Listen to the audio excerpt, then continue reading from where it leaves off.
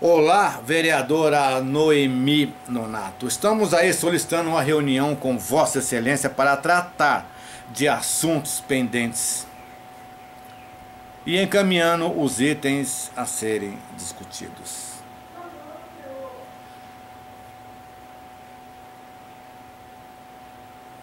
A gente fica até sem jeito às vezes de falar.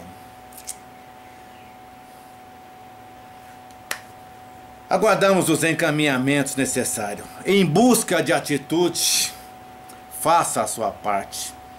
Pela proteção da fé, pela força da lei.